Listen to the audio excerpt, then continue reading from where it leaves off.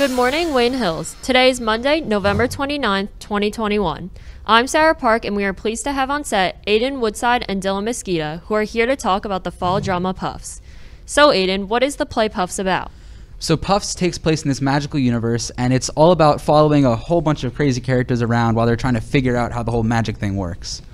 And Dylan, who are the main characters?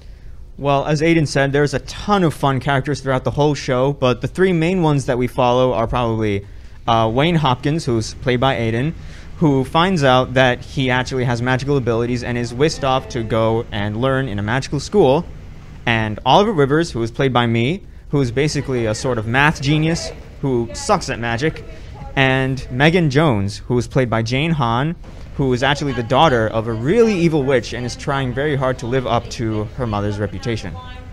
And why should we come to the play?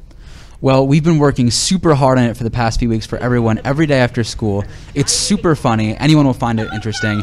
But if you like Harry Potter, it's kind of based around that, and it's very funny.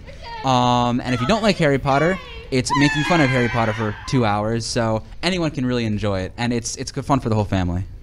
And lastly, when are tickets available? How much do they cost? And where can they be purchased? Uh, tickets go on sale today at lunch. They'll be sold throughout the rest of the week at lunch. Uh, they're $10 if you buy in advance. Uh, they'll be sold uh, in the ticket booth right outside the odd. Thanks for joining us, guys. Don't forget Wayne Hills tickets go on sale today at lunch for $10 right outside of the Odd. We'll be back next Friday with the Spirit Week wrap up. Thank you and have a good day.